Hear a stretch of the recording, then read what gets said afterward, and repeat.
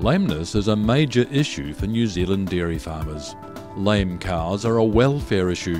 They take time, energy, and skill to treat, and they're a financial cost that will impact on farm profits.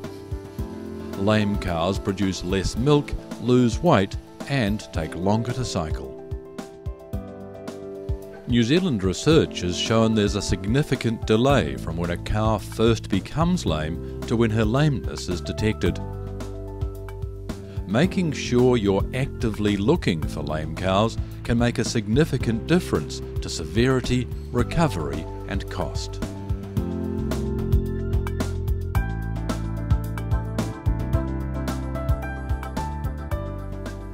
The DairyNZ Healthy Hoof Lameness Score is a reliable approach to identifying cows likely to benefit from treatment.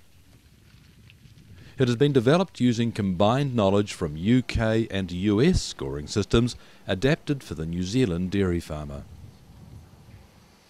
The system identifies four categories from no lameness, that's score 0, through to severe lameness, score 3, and links to the action required for managing each group.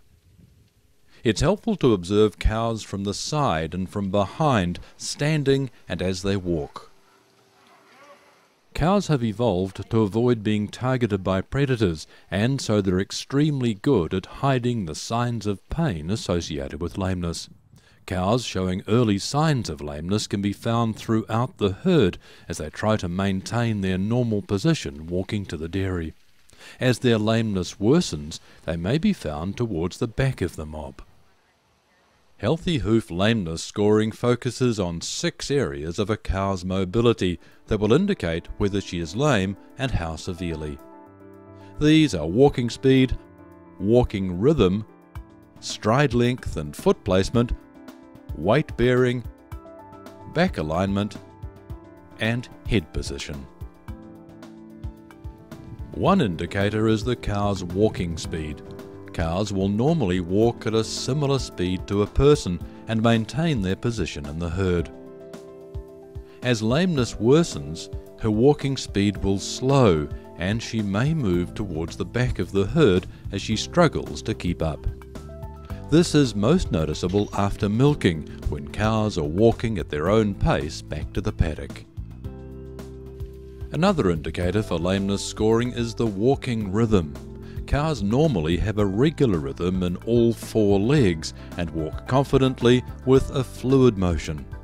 If she becomes lame, the rhythm will be interrupted and become uneven. Often, the corresponding non lame hind or front leg will swing through faster than the lame leg to reduce the time on which the lame leg bears weight. A cow's stride length and foot placement are excellent indicators of her lameness score. When cows walk on an even surface and at their own pace, they'll track up. They look in front of them and choose where their front feet land, then their back feet land on the same spot. This allows them to place their feet safely and avoid obstacles such as stones.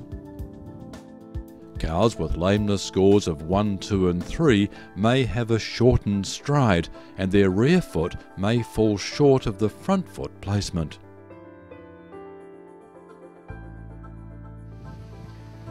Another indicator is how a cow bears weight on all four limbs. Cows with healthy feet place and weight bear evenly on all four legs while standing and walking. Lame cows will favour the lame leg. This leg will not fully weight bear, and the opposite leg will take more weight. The dew claws will sink closer to ground level. How straight and even a cow's back is can also indicate her lameness score. Non lame cows tend to stand and walk with a straight back, whereas an arched back can indicate lameness. That said, an arched back can also be a sign of an uncomfortable walking surface or other health issues such as gut pain. A cow's head position and movement is another clue to lameness. A cow will normally hold her head slightly below the back line. When she's walking, the head only moves a little. A cow carries 60% of her weight in the front half. She can use her head position to transfer weight away from a painful leg. She will raise her head to take weight off a lame front foot and lower her head to take weight off a lame back foot. This can be seen as a bobbing head when walking. Many of the early indicators of lameness are subtle and only seen with careful inspection of walking cars. Yet early treatment is the key to rapid and complete recovery with minimal disturbance to the car and her productivity.